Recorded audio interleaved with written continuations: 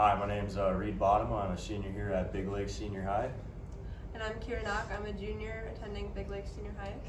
So our concept, we call it PEL, Project Engaged Learning, and what that is is we have we're going to offer a variety of classes, try to go away from the core classes and go more towards like classes that you find more interest in to keep you more engaged and ultimately you'd enjoy coming to school way more. Uh, how it works is we'd offer just a bunch of classes, a lot more that would be more pursuit into your careers compared to just core classes, and yeah.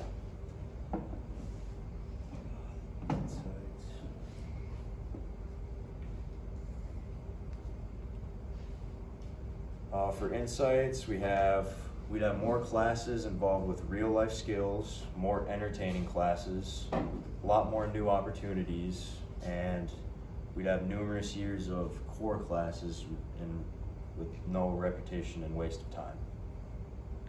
Some people that would it would involve would be like teachers, students that want to pursue something that don't want to waste time in classes that don't really need to be taught.